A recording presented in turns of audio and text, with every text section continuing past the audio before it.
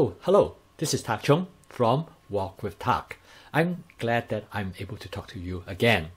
I posted my last video on September 14, uh, 2019 on the review of a Bruntmor cast iron wok, and I'm now ready to post again.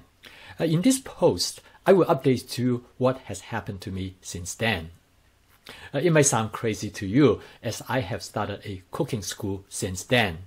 I came across an opportunity to open a cooking school in Streator, Illinois, in an old National Guard armory.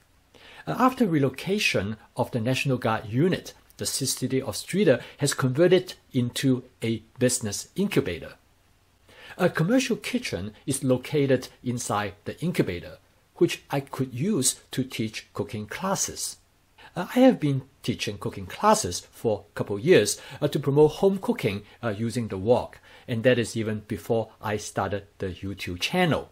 Uh, in one occasion, after I teach a cooking class in the city park, uh, one couple came up to me and asked me where could they take more classes from me. Do you have a cooking school? Uh, even though I recognize the importance of a cooking school, but I also recognize that the financial investment in order to build a cooking school from scratch is way beyond my financial capacity. Uh, therefore, when the Streator Business Incubator offered me the opportunity to use their kitchen to teach cooking classes there, I could not pass up this amazing opportunity. Uh, the incubator kitchen is large enough for me to set up five cooking stations with two students per each stations and a total of 10 students per class. Uh, during the past six months, I have devoted most of my time in uh, setting up and developing the cooking school. Uh, the school was open at the end of February, and I taught my first class on Friday, February 21st, 2020.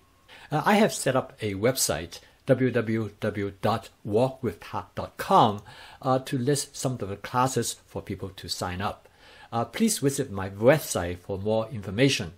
Uh, you, if you happen to live close by, I would love to see you in my class.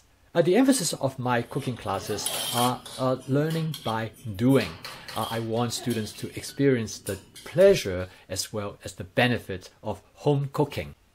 At the end of the class, the student will sit down for a meal uh, to eat what they have just created during class uh, they will enjoy and taste the different food that they have just cooked. Uh, another service I'm going to provide through the cooking school uh, is to offer students the supplies that they need in order to get going uh, with their cooking using my cooking method.